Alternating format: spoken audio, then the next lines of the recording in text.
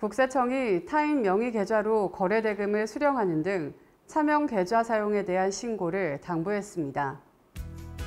차명 계좌는 주로 현금 거래가 많은 사업자들이 현금 수익 금액을 탈루할 목적으로 사용하고 있으며 사업자가 가족, 종업원, 법인 대표자 개인 계좌 등 타인 명의의 계좌로 거래 대금을 수령하는 것은 모두 차명 계좌 사용에 해당합니다.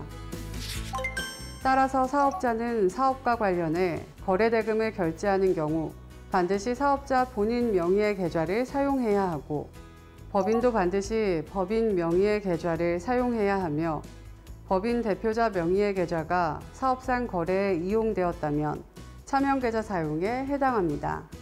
또 복식 부기 의무가 있는 개인 사업자는 본인 명의의 계좌 중에서도 사업에 관련된 용도로만 사용되는 사업용 계좌를 사용해야 합니다.